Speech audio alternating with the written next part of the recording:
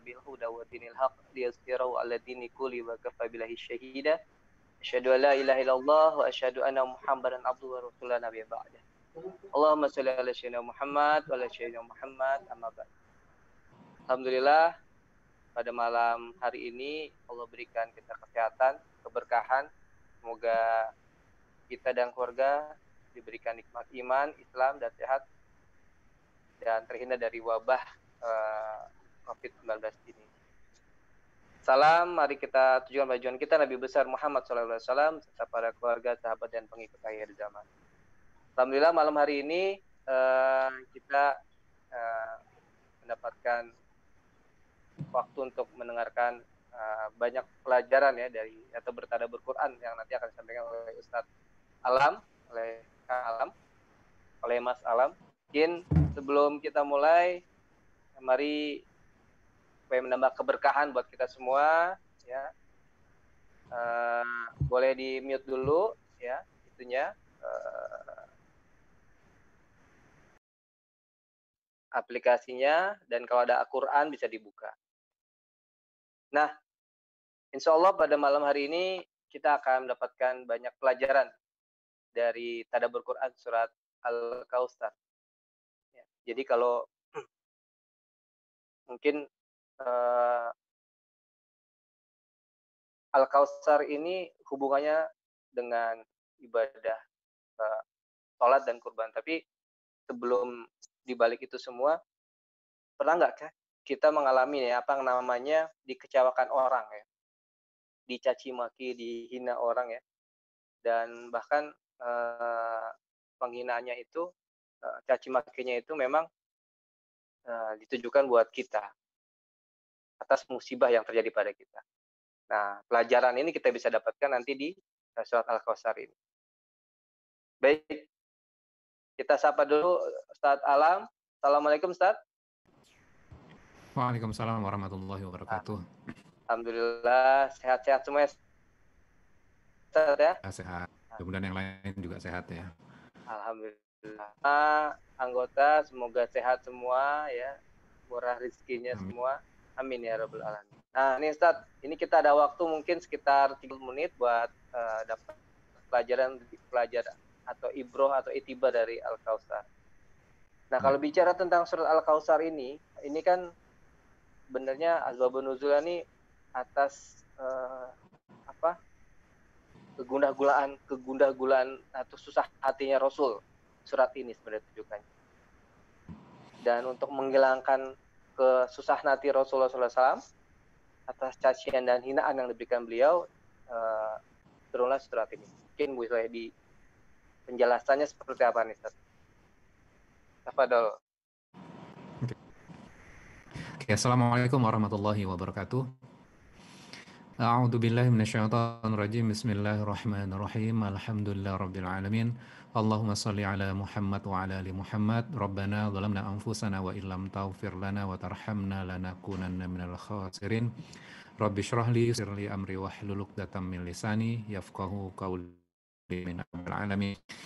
Uh, Alhamdulillah kita bisa dipertemukan dan insya Allah hari ini kita akan belajar dari sebuah surat. Mungkin kita sebagian besar dari kita sudah menghafalkan surat ini. Surat ini hanya terdiri dari tiga ayat. Uh, namun kadang-kadang kita uh, membaca surat ini karena ayatnya yang pendek supaya rokaat sholat kita. Nah yang menarik adalah sebenarnya isi dari kandungan surat Al-Kautsar ini memang terdirinya hanya terdiri dari tiga ayat saja, tapi maknanya biasa dan ini ada sebuah formulasi ketika kita ditimpakan banyak masalah. Dan tadi uh, Mas Taufikan pengantar bahwa surat ini merupakan sebuah hiburan kepada Rasulullah dan bagaimana Rasulullah mengambil sebuah tindakan dan panduannya adalah dari Allah. Panduan ini kita baca artinya bahwa panduan ini juga berlaku untuk kita juga sebagai umat dari Rasulullah. Nah mungkin sebagai ya uh, sering kali uh, saya sekarang memberikan sebuah kajian dan akhirnya banyak diundang ke sana kemudian ke sini dan dipanggilnya Ustadz. Sesungguhnya sebenarnya saya sekarang sampai sekarang masih menjadi student of Quran, masih menjadi muridnya Al-Quran dan memperdalam mempelajari Al-Quran. Dan yang menarik pada saat itu adalah terus terang ada seorang syekh dan ini menggelitik dan uh, gitu loh. Mungkin menyinggung kita semua gitu loh. Beliau syekh dari Timur Tengah, kemudian datang ke negara yang mayoritas muslim. Kemudian mengatakan seperti ini. Di tengah crowd yang sangat banyak sekali, beliau mengatakan seperti ini. Apakah Anda memahami surat? Mengerti surat Al-Ikhlas enggak? Nah, jawaban dari jamaah dari uh, dari jamaah itu ada satu orang yang ditanya, kemudian dia menjawab, saya hanya hafal surat Al-Ikhlas. Kemudian dikejar, apakah Anda paham? Saya hafal karena saya butuh untuk sholat saya. Dan Syekh ini begitu sedih luar biasa. Karena menurut dia adalah negara yang mayoritasnya adalah muslim mengerti tentang Al-Quran. Namun ternyata eh, negara yang mayoritas muslim surat Al-Fatihah saja tidak paham. Nah, artinya bahwa ini merupakan sebuah kritikan buat kita umat Islam gitu loh. Mungkin kita sudah tahu mazhab ini cara apa namanya berkorban, puasa dan segala macamnya. Namun kadang kita melupakan yang hal esensial. Yang esensial itu apa? Esensial adalah kita belajar Al-Quran. Nah, akhirnya uh, saya mencoba untuk memperdalam Al-Quran karena uh, dari kecil saya uh, sampai kuliah mungkin ya bersama teman-teman ya, di Bogor. Kalau ditanya apakah setiap Ramadan hatam, namun terjemahan juga nggak hatam-hatam. Dan setiap tahun kita rutin melakukan ini. Nanti ketemu Ramadan lagi gitu loh. Kita nggak hatam lagi. Ketemu Ramadan tahun depan lagi, kita nggak hatam lagi. Hatam bukan Arab saja. Kemudian kadang kita mengatakan seperti dan kita mendengarkan e, tausiah juga bahwa alif lam mim itu bukan satu huruf, tapi terdiri dari tiga huruf, masing-masing satu kebaikan. Berarti kalau kita membaca alif lam mim, berarti e, eh, 30 kebaikan kan. Dan akhirnya kita terlena puas bahwa oh kalau gitu cukup mendapatkan pahala karena sudah mendapatkan kebaikan kok, mendapatkan pahala 10 kebaikan. Jadi akhirnya setiap tahun kita tidak improve diri kita. Kita tidak paham apa yang kita Nah, sekarang kita punya program. Programnya apa? Menjadi muslim yang cerdas. Muslim yang cerdas itu apa? Muslim yang cerdas adalah muslim mengerti apa yang dibaca. Jadi ketika sholat Al-Fatihah, kita membaca surat uh, pendek yang panjang, maka kita harus paham apa yang kita baca. Sehingga apa? Sehingga kita menjedas. Oke, itu sebagai pengantar. Uh, dan biasanya metodologi ketika kita belajar gitu loh. Yang terjadi adalah metodologinya adalah uh, kita ngambil biasanya kan metodologinya misalnya gini, kita ngambil satu ayat di sebuah surat. Ngambil surat yang lain satu ayat lagi kemudian digabungkan, kemudian ada hadis, kemudian menjadi sebuah tema. Nah, kalau seperti itu, kira-kira eh, mudah nggak kalau kita sebagai muridnya atau santrinya untuk mengulang kembali? Kira-kira mudah atau gampang? Atau mudah atau sulit? Ya, Cenderungnya adalah kita... Nah, kalau memang uh, memahaminya uh, zipping zipping tuh ngaji nguping ya mungkin susah ya ngaji nguping nah insya Allah hari ini kita akan belajar. Jadi mulai dari asbabun nusul kemudian berikutnya adalah kita memahami ayat per ayatnya kemudian korelasinya apa. Oke kita langsung masuk ke dalam ayatnya. Silahkan uh, buat temannya silahkan dibuka uh, surat ke berapa ini ya? Surat ke 108 A'udzu A'udzu billahi minasyaitonir rajim. Bismillahirrahmanirrahim. Inna a'tainakal kautsar fasalli li rabbika wanhar. Inna syani'aka huwal abatar. Saya baca terjemahannya dulu. Sungguh kami telah memberimu Muhammad nikmat yang banyak. Maka laksanakanlah sholat karena Tuhanmu dan berkorbanlah. Sungguh orang-orang yang membencimu dialah yang terputus. Nah, asbabun nusulnya apa? Asbabun nusul ini adalah sebab-sebab turunnya ada sebuah peristiwa. Peristiwa ini terjadi pada diri Rasulullah. Rasulullah itu memiliki putra, putra laki-laki. putra laki-laki Rasulullah ini bernama Ibrahim. Saking cintanya kepada uh, Nabi Ibrahim, maka putra dari Rasulullah ini dinamakan Ibrahim. Kemudian Ibrahim ini dia masih kecil. Dan Allah menakdirkan Ibrahim kecil ini meninggal dunia. Ketika meninggal dunia, tentunya Rasulullah sebagai manusia biasa juga gitu loh. Pasti ada rasa kepedihan, rasa sedih, dan Rasulullah sedang berduka. Ketika Rasulullah berduka, di samping rumah Rasulullah, kalau kita bayangkan gini, kalau di Betawi kan biasanya rumahnya saling nempel ya. Nah, rumah Rasulullah dengan Abu Lahab itu berdampingan. Jadi ketika ada tangisan di rumah Rasulullah, ada sebuah duka di rumah Rasulullah, maka tetangga beliau, yaitu pamannya Abu Lahab pasti mendengar. Dan respon dari Abu Lahab, ini yang tidak disangka-sangka oleh Rasulullah. Responnya apa? Dia berjingkrak-jingkrak gembira dengan mengatakan Batara Muhammad, Batara Muhammad, Batara Muhammad terputuslah keturunan Muhammad, terputuslah keturunan Muhammad. Biarin saja Muhammad ngomong apa saja, nggak akan ada yang meneruskan bin Muhammad. Itu kata Abu Lahab. Nah, perkataan Abu Lahab ini dan tingkah pola dari Abu Lahab ini kira-kira membuat Rasulullah bersedih nggak? Ya. Pasti membuat Rasulullah bersedih. Sedih sekali. Harapannya gitu loh, ketika Rasulullah ditimpakan musibah ini kan musibah ya. Anak laki-laki yang dicintai oleh Rasulullah di dunia. Kemudian yang kedua adalah penghinaan dari uh, Abu Lahab. Kira-kira harapan kita akan turun ayat yang kaitannya sabar atau bersyukur? Kalau merujuk surat ini justru uh, sabar, eh bersyukur. Bersyukur karena sebenarnya nikmat yang diberikan itu jauh lebih besar dibanding kesedihan. Tapi sebagai manusia, kita kalau mendapatkan kesusahan atau ujian itu biasanya yang diberikan nasihatnya ya sabar ya. Ini mungkin ujian dari Allah. Seperti itu. Ya, biasanya logikanya ketika uh, seseorang ditimpakan musibah, biasanya nasihatnya adalah bersabar kan? Bersabar. Betul. Yang menarik adalah Allah menurunkan surat Al-Kautsar ini inna a'tayna kal kautsar. Sesungguhnya kami telah memberikan nikmat yang banyak kepadamu. Kita hanya mengambil satu tafsir aja. Kautsar ini ada yang menafsirkan telaga di surga. Nah, sekarang kita menggunakan satu tafsir yaitu nikmat yang banyak, kautsar. Nikmat yang banyak. Jadi Allah memberikan sebuah transisi itu. Ekspektasi kita ketika diberikan musibah, harapan kita adalah turun ayat yang kaitannya tentang sabar. Namun, yang turun adalah ayat yang kaitannya mengingatkan tentang nikmat. Logikanya di mana nih? Supaya kita bisa memahami kenapa kok turun kaitannya tentang e, bersyukur, bukan bersabar. Nah, ini yang perlu kita kaji.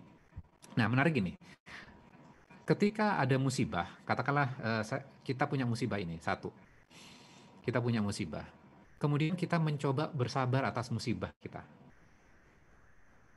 Pertanyaannya, sulit nggak ketika kita mau bersabar terhadap musibah? Cenderung biasanya kita akan sulit. Kenapa? Karena memori kita, ingatan kita, fokus kita terhadap musibah itu kemudian kita mencoba bersabar atas musibah itu, biasanya akan cenderung sulit. Maka Allah memberikan sebuah transisi lain. Ingat nikmat. Biasanya kan ketika ada musibah, kita fokus kepada ini, kemudian merupakan nikmat. Nah, Rasulullah diingatkan oleh Allah sesungguhnya nikmat yang sudah diberikan kepadamu Muhammad itu sangat banyak sekali. Jadi bukan hanya satu, tapi sangat banyak sekali. Mungkin kalau dalam istilah Jawa itu uh, banyak sama banyak itu beda. Nah, ini ayat ini berbicara tentang nikmat yang diberikan kepada Rasulullah itu banyak sekali. Nah, ketika ingat nikmat, maka cenderung orang bisa bersyukur kan? Nggak yeah. mungkin orang kalau nggak ingat minimal satu nikmat. Kalau nikmat yang ditunjukkan banyak, maka dia akan lebih gampang untuk bersyukur. Jadi bagaimana dialihkan dari sebuah musibah, penderitaan, dialihkan kepada nikmat, kemudian setelah melakukan uh, evaluasi terhadap nikmat-nikmat ini, kemudian dia bersyukur. Setelah bersyukur, langkah berikutnya apa? Ketika seseorang sudah bersyukur, maka dia akan gampang untuk bersabarnya. Jadi bagaimana luar biasanya surat ini ternyata bagaimana ketika kita ditimpakan musibah, maka nasihatnya adalah bersyukur. Logikanya gini. Jadi uh, terus terang kenapa? Jadi bersyukurnya itu adalah karena nikmat yang diberikan jauh sebelum musibah ini datang ya itu jauh lebih banyak yang diberikan kepada kita. Cuman memang kita suka lupa gitu saat ya, sama betul. nikmat yang diberikan. Jadi pada saat mendapat satu kesulitan nggak bisa move on gitu. Jadi pikirannya ya. fokus pada kesulitan itu. Manusiawinya seperti itu. Ya. Mm -mm. Jadi contohnya uh, contohnya gini supaya lebih uh, mudah kita uh, menginternalisasikan gini. Ini ada sebuah kisah. Kisah ini seorang suami istri dia sulit memiliki anak. Kemudian Allah menakdirkan akhirnya Allah menakdirkan seorang anak lahir dari keluarga ini. Lahirlah seorang anak ini, kemudian dididik secara islami, kemudian tumbuh menjadi laki-laki yang soleh SD, SMP, SMA, orang tuanya sangat sayang sekali, anak ini sangat baik sekali, soleh sekali. Kemudian ada sebuah peristiwa di mana dia pulang dari sekolah ketika dia lulus, dia pulang menuju rumahnya dan mengalami kecelakaan dan meninggal dunia. Tentunya dua orang tua ini gitu pasti sangat sedih sekali ketika ditinggal anak yang sangat dicintai ini. Satu hari mereka bersedih, satu minggu mereka masih bersedih. Kemudian waktu sudah berlangsung lama. Setahun kemudian, sang ibu tidak bisa melupakan, melupakan kepedihan ditinggal oleh anaknya ini. Dan akhirnya apa? Suaminya ini khawatir terhadap istrinya ini. Kemudian mendatangi istrinya, Bunda, kenapa kok masih bersedih? Harusnya kita bersyukur. Ketika dikatakan seperti itu, karena belum ilmunya belum nyampe, maka dia langsung marah kepada suaminya. Lu gimana kita bersyukur? Anak kita diambil kok, anak kita meninggal. Bagaimana saya akan bersyukur? Gitu. Kemudian suaminya mengingatkan, Bunda, bukankah anak yang kita cintai itu Allah sudah titipkan mulai dari nol tahun sampai dia SMA dan dia bersama-sama kita dan kita berbahagia selama itu.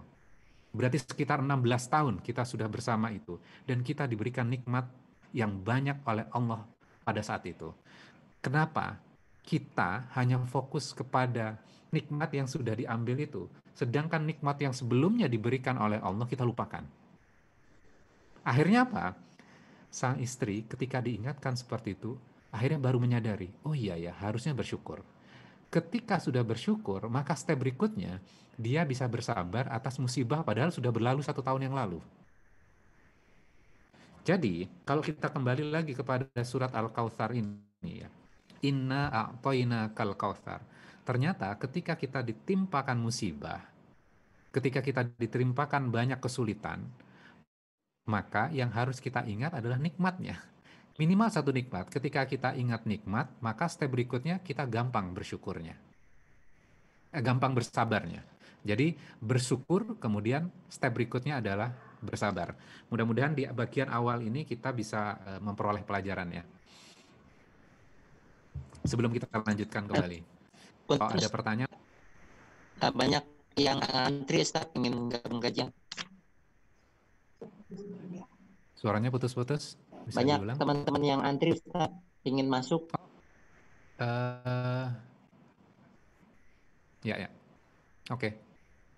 Ya, Ustaz. Nah, ini uh, luar biasa nih antara uh, Allah berikan ujian ya ujian kegun apa pada Rasul ya dengan uh, meninggalnya putra satu-satunya Rasul bernama Ibrahim lalu turun ayat pertama tentang nikmat uh, yang banyak yang diberikan oleh Rasul. Nah, lalu kaitannya dengan ayat kedua nih, Ustaz. Ayat kedua ini adalah tentang uh, mendirikan sholat dan berkurban. Gitu. Oke. Nah, ini artinya setelah uh, diberikan nikmat, lalu kita bersabar, lalu kita uh, untuk mendekatkan diri pada Allah lagi dengan dua ibadah ini. Nah, ini gimana kaitannya ayat satu dan ayat kedua ini? Oke, nah sekarang kita balik lagi kepada asbabun nusulnya. Tadi Rasulullah ditimpakan musibah, kemudian pamannya sendiri, Abu Lahab, berjingkrak-jingkrak dengan gembira. Dengan mengatakan, Batara Muhammad, Batara Muhammad, terputuslah keturunan Muhammad, terputuslah keturunan Muhammad. Ketika mendapatkan hinaan seperti ini, ini kan menghina ya, menghina dan melecehkan. Dan pelecehan ini dilakukan kepada Rasulullah. Kira-kira responnya dibalas atau kita diam saja. Nah, di bagian berikutnya Allah mengatakan fasolli li rabbika. Dirikan salat untuk Tuhanmu. Jadi rupanya ketika kita dihina, ketika Rasulullah dihina, maka Allah memberikan sebuah perintah. Perintahnya apa? Perintahnya adalah sholat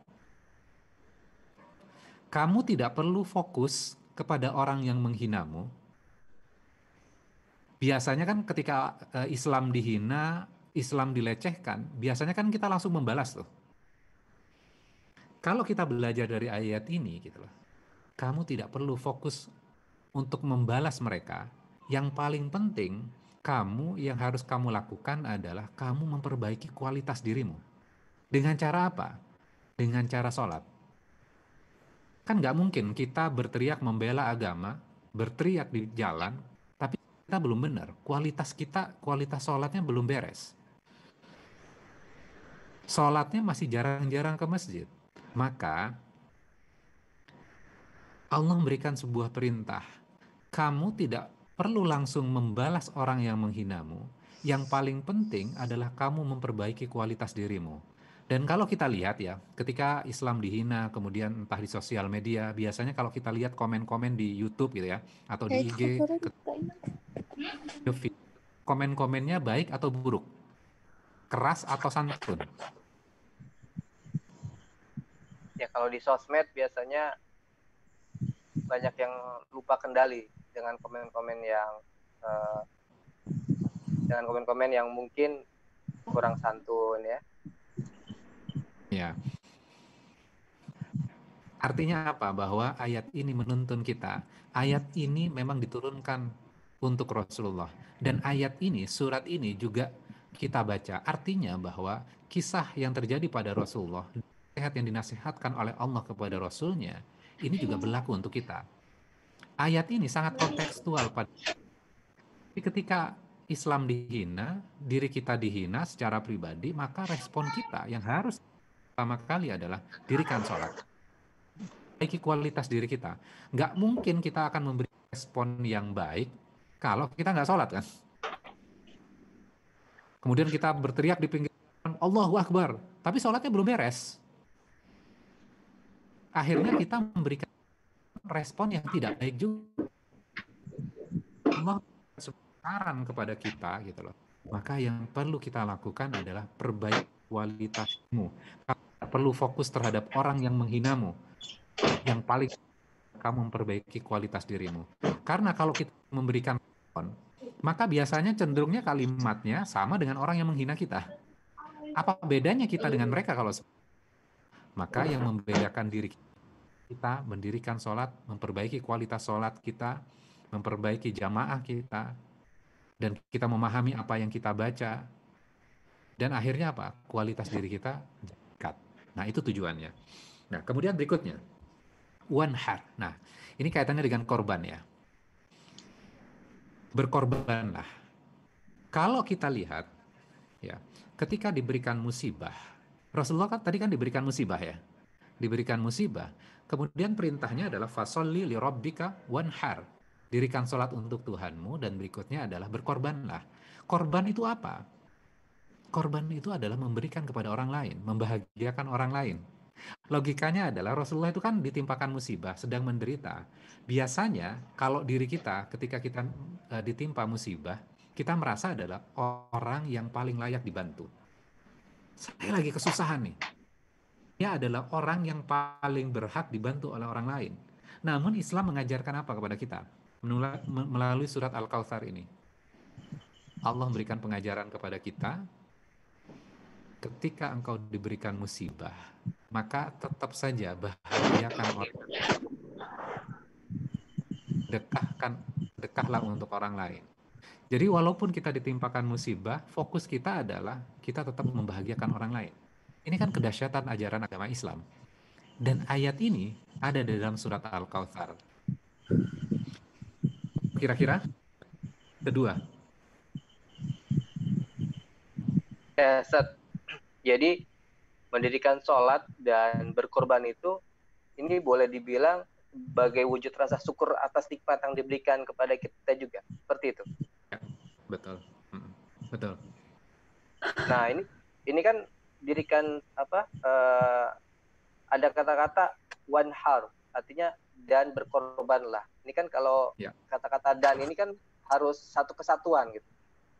Hmm, Artinya betul. ada orang yang sholat tapi masih belum bisa berkorban. Ada orang yang bisa berkorban tapi sholatnya masih uh, kualitasnya masih atau masih suka bolong-bolong. Nah, ini gimana?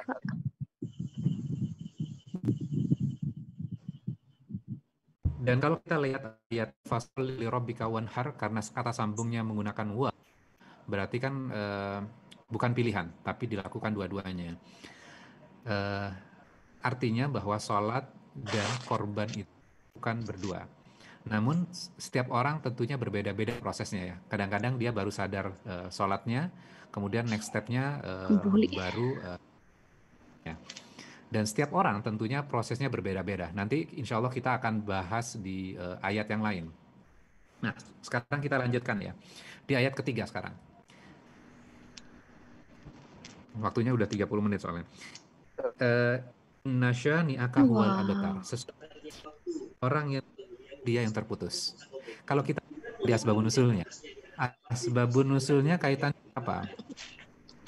Paman dari Rasulullah yaitu Abu Lahab. Muhammad terputuslah keturunan Muhammad. Kemudian menjawab Inna ni akahu orang musuhimu itu yang terputus. Harto. Nah, pasta terus ada loh. Tidak perlu yang saya kan mau bikin kue yang itu tuh.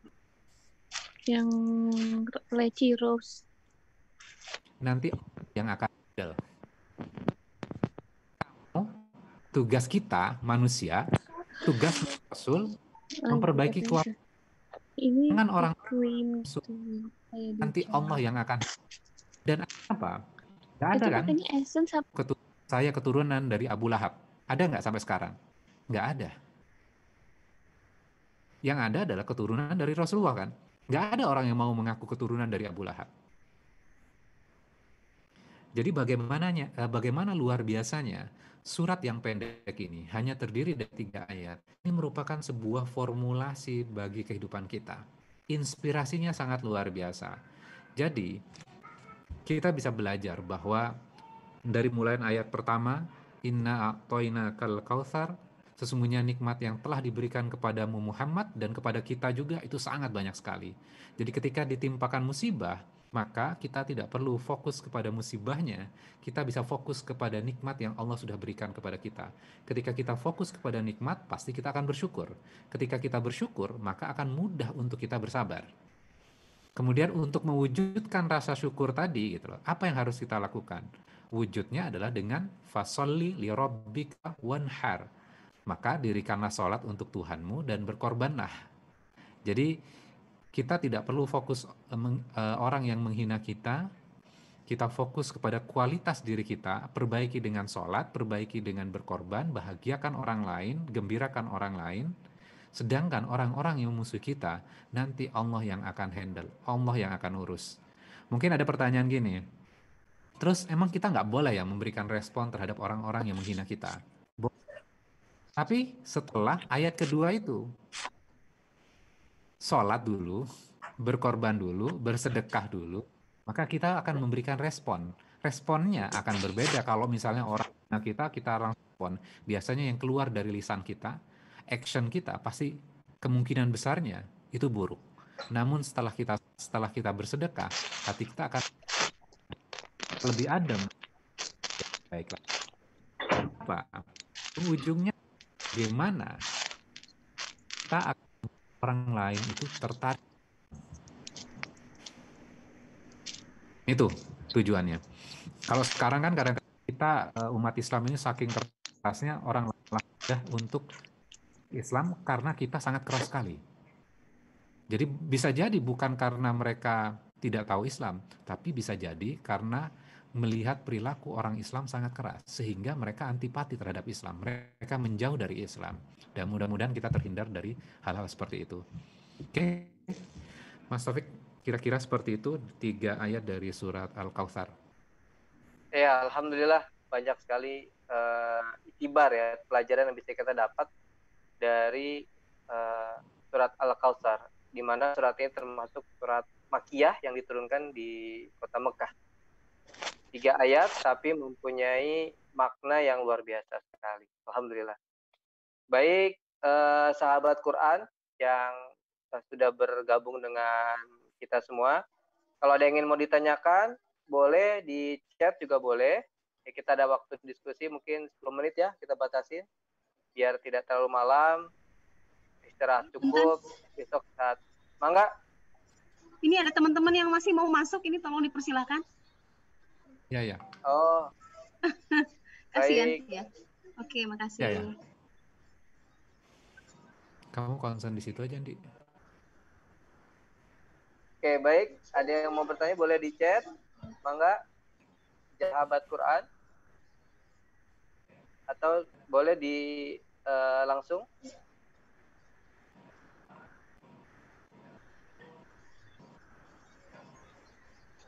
Nah, sambil menunggu pertanyaan, saat Alaf.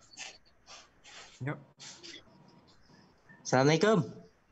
Waalaikumsalam warahmatullahi wabarakatuh. Ustadz, uh, saya ada satu pertanyaan ini uh, sedikit. Uh, tadi Ustadz bilang kalau kita uh, ingin bersabar, yang langkah pertama yang dilakukan adalah dengan cara bersyukur.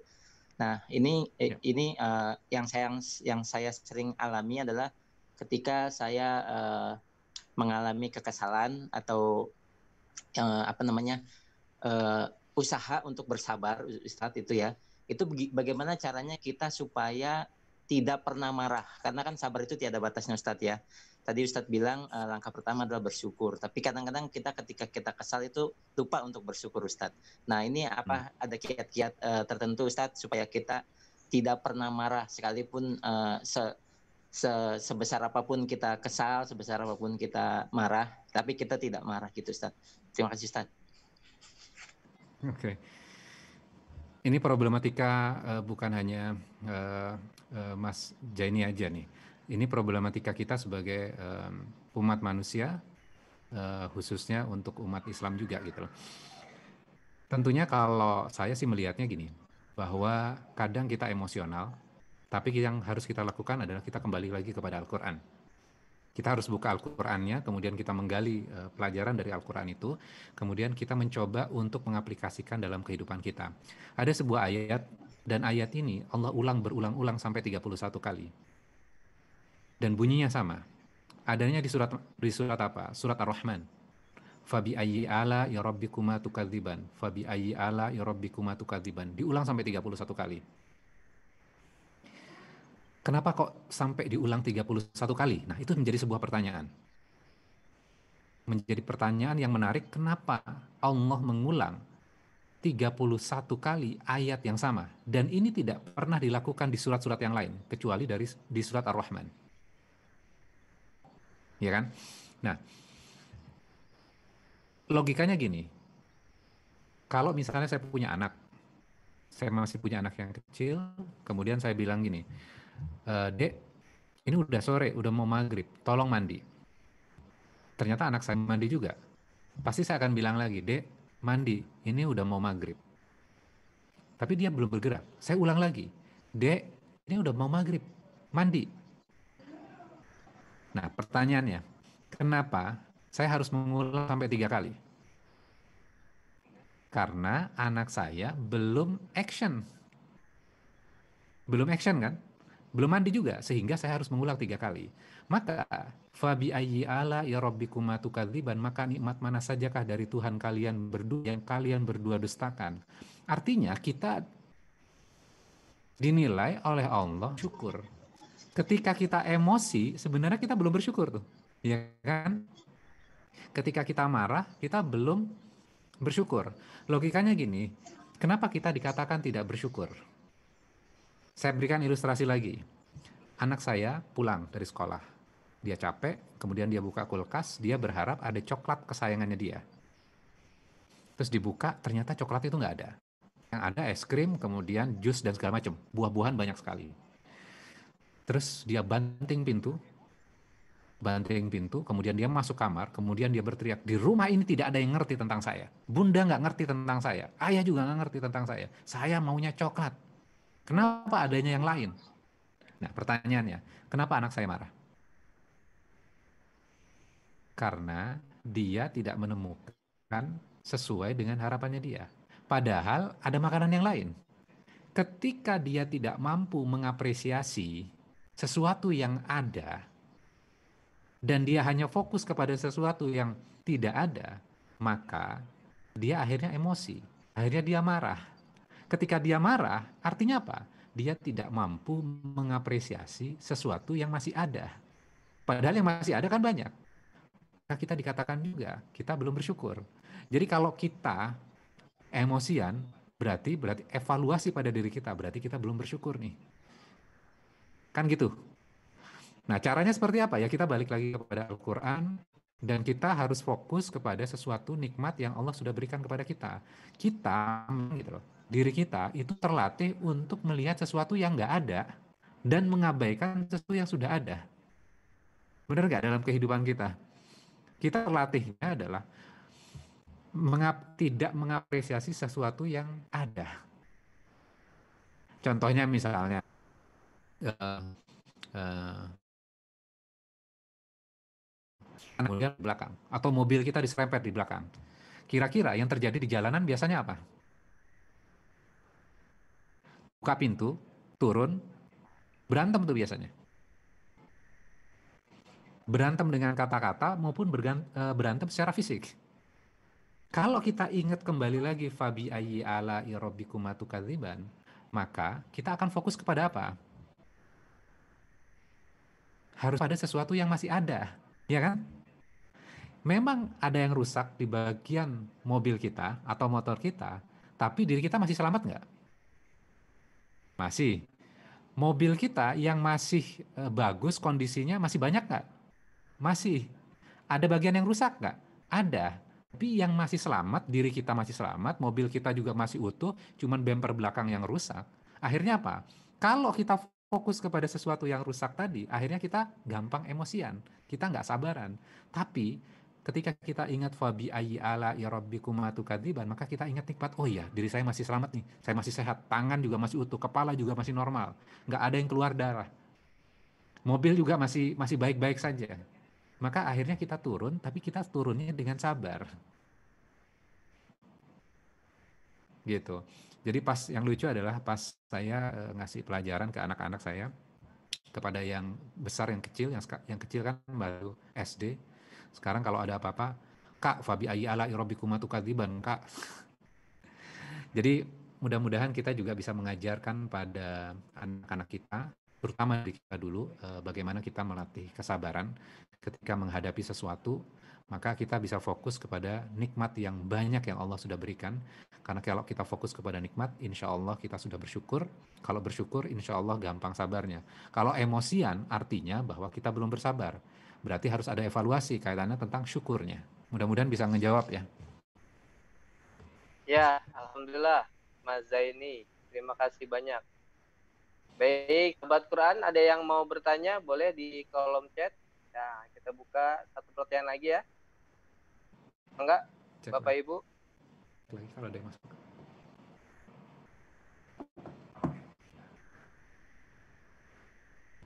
Nah, saat ini kondisinya uh, kita lagi bukan cuma Hmm. kita tapi Indonesia tapi juga seluruh dunia dengan adanya pandemi ini. Ini kan sebenarnya adalah uh, ujian juga buat kita, terutama yang terdampak ya. Hmm. Nah ini bagaimana nih saat ini? Pada saat sedang ada ujian seperti ini, kita pertama diminta untuk bersyukur ya karena Allah udah kasih uh, nikmat yang banyak sebelum ini dan momentumnya dua minggu lagi nih momentum kurban. Gitu. Nah ini ada yang bertanya, ini saatnya kurbannya ini adalah kita uh, kurban hewan ternak ya, karena memang sesuai anjuran, atau ada yang bilang juga, apakah kita cukup sedekah aja nih, karena banyak orang yang masih butuh makan gitu, dengan Mhm. kondisi seperti ini. Oke. Eh, ini pertanyaan yang memang sekarang eh, lagi ramai juga didiskusikan. Kalau kaitannya dengan fikih, eh, kalau saya sih ikut sama ustadz-ustadz dan ulama-ulama fikih ya. Dan eh, mereka sudah menyampaikan bahwa dan MUI juga sudah mengeluarkan fatwanya bahwa yang kaitannya dengan korban tetaplah adalah hewan kurban. Kalau misalnya kita mengeluarkan uang selain eh, hewan kurban, maka itu dihitungnya adalah sedekah, sedekah biasa. Jadi memang korban adalah hewan kurban. Eh, kalau kita mengeluarkan uang kemudian kita berikan maka hitungannya adalah sedekah. Nah, yang menarik adalah kalau buat saya adalah gini. Artinya itu mendorong kita muslim menjadi muslim yang kaya. Jadi bukan pilihan. Tapi kita bisa melakukan dua-duanya. Berkorban iya, kemudian bersedekah juga iya. Artinya ini adalah sebuah eh, apa ya, dorongan kepada kita menjadi muslim yang kaya.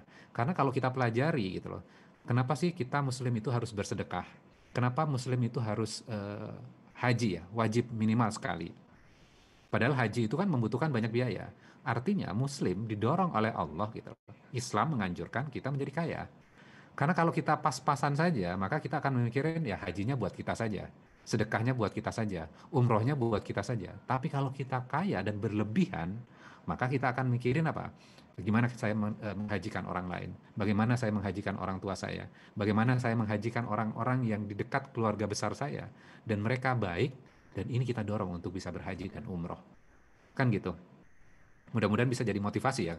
Jadi bukan jadi masalah dan mempertanyakan eh, yang mana yang mananya, tapi mendorong kita untuk bisa berkorban sekaligus bersedekah pada saat ini. Karena kalau kita kembali lagi kepada ayat ini, ketika musibah maka kita harus bahagiakan orang lain. Nah, kemudian yang timbul pertanyaan, terus siapa yang yang ngurus kita kalau seperti itu? Wong saya kan adalah orang yang paling layak, yang susah kok. Kok saya harus membahagiakan orang lain? Maka kita balik lagi kepada ayat yang ketiga. Allah yang akan handle, tenang aja. Allah yang akan urus. Allah yang akan membahagiakan kita. Udah sesederhana itu saja. Jadi surat Al-Kautsar ini rupanya luar eh, luar biasa sekali. Oke, silakan. Baik, alhamdulillah.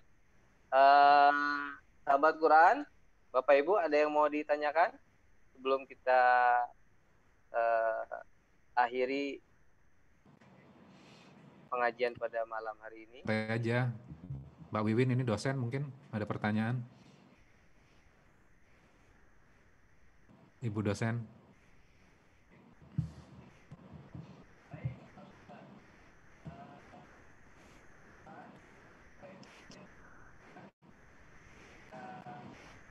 Mas Yadi ada? Mas Sofian? Monggo. Oke, baik. Assalamualaikum warahmatullahi wabarakatuh. Assalamualaikum warahmatullahi wabarakatuh. Salam. sekali teman-teman semua di kesempatan yang luar biasa ini. Semoga kita bisa berkumpul baikan dan insya Allah eh, dikumpulkan dalam surga Allah tanpa hisap. Amin. Amin ya robbal alamin. Eh, mungkin boleh eh, di-share Pak Ustadz pengalamannya, pengalaman pribadi mungkin bagaimana nih caranya supaya bisa bersyukur eh, sampai apa level yang ya mungkin baik gitu ya. Em, kita kan kadang kalau konsep mungkin masih kurang nyantol gitu ya, tapi mungkin ada mungkin bisa di-share eh,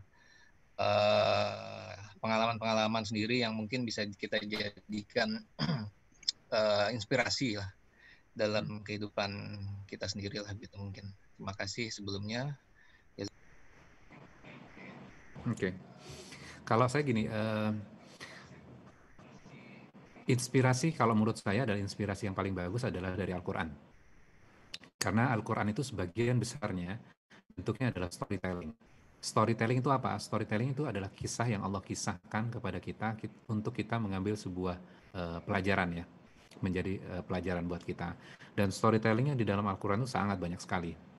Dan kalau kita lihat Rasulullah sangat menganjurkan kepada kita setiap hari Jumat misalnya salah satu uh, sunnah dari Rasulullah adalah membaca surat Al-Kahfi, ya kan? Kalau yang menjalankan yasinan ya nggak apa-apa. Sunnah yang uh, dianjurkan oleh Rasulullah adalah membaca surat Al-Kahfi. Di surat Al-Kahfi itu uh, Barang siapa yang membaca surat Al-Kahfi di hari Jumat, maka dia akan mendapatkan mendapatkan cahaya sampai Jumat yang akan datang. Jadi kalau kita Jumat kemarin baca, maka kita akan mendapatkan cahaya. Nah, cahaya ini kan kita harus uh, terjemahkan. Kita harus belajar surat Al-Kahfinya. Ya kan? Sehingga Al-Kahfi itu memiliki impact buat kita. Sederhananya gini, supaya nggak panjang. Bahwa surat Al-Kahfi itu sebenarnya terdiri dari empat kisah. Yang kisah yang pertama adalah pemuda-pemuda Ashabul Kahfi. Yang kedua, eh, yang kedua adalah tentang kisah dua pemilik kebun. Yang ketiga adalah kisah Musa dan Khidir. Yang keempat Zulkarnain. Nah, sekarang kita lihat kisah yang ketiga. Kisah yang ketiga ini adalah tentang kisah Musa. Nabi Musa itu padahal seorang nabi yang sangat luar biasa, mendapatkan Taurat, membebaskan Bani Israel loh, menyeberang lautan, berarti sudah membelah laut gitu loh. Apa kurang sabarnya dari Nabi Musa? Sabar kan? Namun habis itu Nabi Musa e, diminta oleh Allah ketika ditanya berulang-ulang oleh muridnya siapa orang yang paling pintar. Nabi Musa jawab e, e, pertama kali diam. Kemudian ditanya lagi siapa orang yang paling pintar. Diam lagi. Kemudian setelah ditanya tiga kali Nabi Musa menjawab aku. Maka Allah menegurnya. Ada orang yang lebih pintar dibandingkan kamu. Kamu belajar kepada dia. Kemudian uh, dicarilah sosok uh, yang uh, akan yang akan menjadi guru dari Nabi Musa ini dan akhirnya Nabi Musa minta nanti silakan dibaca ya di surat Al-Kahfi akan minta kepada gurunya ini uh, biarkan aku mengikutimu supaya engkau bisa mengajarkan aku ilmu yang tidak yang sudah diberikan kepadamu. Kemudian sang guru katakan apa? Kamu nggak akan sanggup sabar. Loh, padahal dia nabi loh. Dia membebaskan Bani Israel dan mendapatkan Taurat. Pasti ilmunya, teorinya kan banyak seperti uh, tadi Mas Yadi katakan. Kita teori mungkin sudah tahu gitu loh. Nah balik lagi nih kepada Nabi Musa. Nabi Musa memiliki ilmu. Tapi uh, Khidir ini mengatakan kepada Musa, nggak mungkin kamu bersabar kalau kamu nggak punya pengalaman. Itu. Jadi kalau dilihat nanti di Al-Qur'annya, uh, saya buka ya supaya nanti teman-teman juga bisa uh, baca ya. Surat Al-Kahfi itu adalah surat ke-18. 18. Nah, yang saya maksudkan tadi adalah ayatnya nih.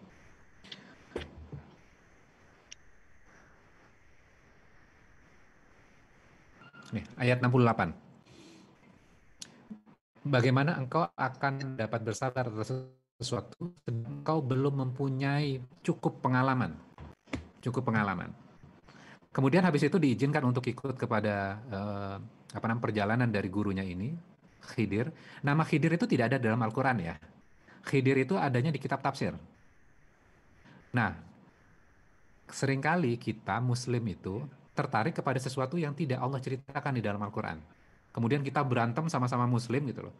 Uh, mencari hidir. Sampai sekarang juga kalau kita lihat ada uh, beberapa dari golongan kaum muslim masih mencari hidir ini karena percaya bahwa hidir ini masih hidup sehingga pengen berguru kepada hidir ini.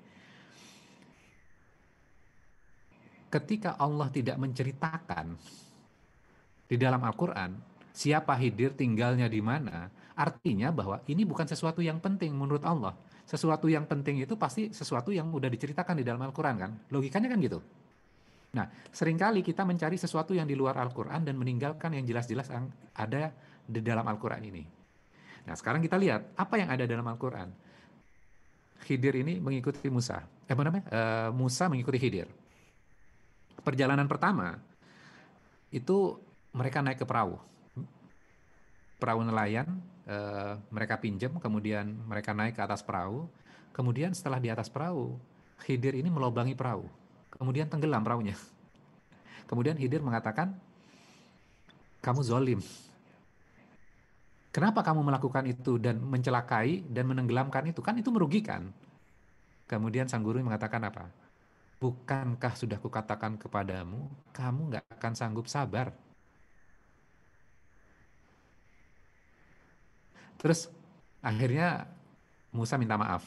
Peristiwa yang kedua, kemudian mereka berjalan, kemudian mereka berjalan, akhirnya bertemu dengan anak kecil. Anak kecil ini sama Khidir dibunuh. Kemudian Musa langsung memberikan respon. Responnya apa? Kenapa engkau membunuh jiwa yang tidak berdosa? Kemudian sang guru ini mengatakan kembali, bukankah sudah kukatakan kepadamu, kamu nggak akan sanggup sabar bersamaku. Sudah dua kali melakukan kesalahan. Kemudian akhirnya apa? Oke oke, izinkan aku, uh, aku berbuat kesalahan, maka aku sudah tahu apa yang harus aku lakukan. Kan seorang nabi loh ini melakukan kesalahan dua kali. Pesannya dari gurunya ini, kamu boleh mengikutiku, tapi kamu nggak boleh komen, nggak boleh komentar apa pun. Sudah dua kali melakukan kesalahan. Kemudian perjalanan yang ketiga. Perjalanan yang ketiga, sampai sebuah daerah dan mereka kehausan, akhirnya minta dijamu. Minta makanan, minta minuman. Kepada penduduk negeri itu. Penduduknya sangat pelit sekali tidak diberikan makanan. Kemudian mereka berjalan, kemudian melihat sebuah rumah yang uh, yang sebagian sudah roboh. Kemudian sang guru ini, Khidir ini mendatangi rumah itu kemudian membangun temboknya. Setelah selesai membangun semuanya, Musa ngomong seperti ini. Oh kalau seperti itu kita bisa minta upah tuh kepada penduduk itu. Kemudian sang guru mengatakan apa? Ini adalah akhir perpisahanku dan perpisahanmu. Yang kamu nggak sanggup sabar Kemudian habis itu diceritakan satu-satu tuh. Perahu tadi yang dilobangi adalah perahu milik dari nelayan yang soleh. Nanti akan ada raja yang akan merampas semua perahu yang masih sehat, maka perahu itu ditenggelamkan. Ditenggelamkan itu supaya apa berarti? Supaya selamat. Selamat. Supaya nggak diambil kan? Yang masih utuh, yang masih bisa belayar, dirampas semuanya. Maka ditenggelamkan itu untuk menyelamatkan. Kalau kita kan seperti sosok Musa ya, ya. Aduh, eh, kadang-kadang langsung kita berburu sangka, itu buruk, itu buruk. Waduh, kenapa saya harus uh, ban mobil saya harus kempes? Kenapa mobil saya harus kesenggol? Kita berburuk sangka. Tapi kita bisa belajar dari ayat ini. Ternyata kecelakaan dari perahu itu adalah untuk menyelamatkan. Kemudian laki-laki uh, apa namanya anak kecil yang dibunuh itu Rupanya anak itu adalah anak dari dua orang tua yang soleh, yang baik. Kemudian anak ini nanti akan menggiring orang tuanya ketika dewasa, menggiring orang tuanya jauh dari Islam. Akhirnya Allah menakdirkan anak ini meninggal dunia ketika kecil, kemudian Allah akan menakdirkan anak yang lain yang soleh. Kan ada kadang-kadang anak membuat orang tuanya jauh dari agama kan? Nah ini tipikal yang meninggal ini, ini adalah anak yang seperti itu sehingga Allah menggantinya. Setelah diceritakan baru sadar, baru paham bahwa oh iya ya. Kemudian yang ketiga, yang ketiga itu tanah eh, rumah itu adalah milik anak yatim.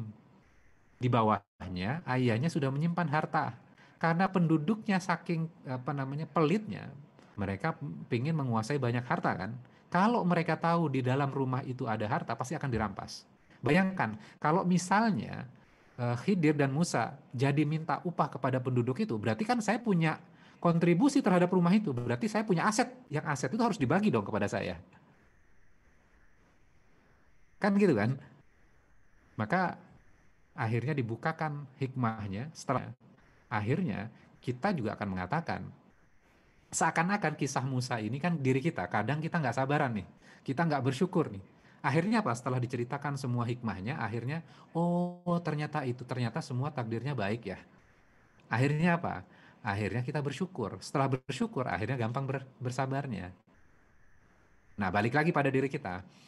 Uh, saya tidak mengatakan saya hebat, saya sudah bisa bersyukur, saya sudah bersa bisa bersabar. Kita sama-sama berjuang nih, sama-sama berjuang. Kita belajar lagi kepada Al-Quran. Makanya ketika kita mengalami sebuah masalah, musibah yang sulit untuk bersabar, sulit bersyukur, balik lagi kepada Al-Quran. Buka saja Al-Qurannya. Ya Allah, tunjukkan kepada saya dari Al-Quran ini yang akan menjadi penyejuk dan menjadi syifa, menjadi obat buat saya. Kira gitu ya, kira-kira gitu. Jawabannya panjang, mohon maaf. Supaya kita kembali kepada Al-Quran. Ya, Alhamdulillah. Uh, terima kasih banyak uh, pada ya sahabat Quran ya yang sudah menyimak pada malam hari ini. Dan kepada Ustadz juga yang sudah meluangkan waktunya sudah hingga jam 9 malam. Waktu yang biasanya kita gunakan bersama dengan keluarga per minggu. Tapi insya Allah malam ini Allah berikan uh, kita kesempatan untuk bisa sama-sama belajar ya mengkaji ilmu mentadabur Al-Quran. Mudah-mudahan banyak hikmah yang kita bisa ambil ya banyak pelajaran itibar yang bisa kita ambil dari surat Al-Kausar ini. Kalaupun nanti masih ada pertanyaan, bisa japri ke nomor di bawah. Maaf. Enggak ada. ya, ya. Insya Allah uh, kita bisa ketemu lagi di lain waktu dan kesempatan. Mohon maaf bila ada yang kurang berkenan. Bila hitopik ya, sebelum kita tutup mungkin uh, ada sesi foto nggak? Sesi foto, sesi foto ya. Bentar, nih sesi fotonya kayaknya uh, belum bisa nih, Mbak Popi karena semuanya kameranya dimatiin. Jadi nanti yang kelihatan tulisan aja. Atau dibuka dulu mungkin yang berkenan. Baik, kita tutup dengan doa penutup majelis. Subhanakallahumma wa bihamdika, asyhadu an la ilaha illa anta, astaghfiruka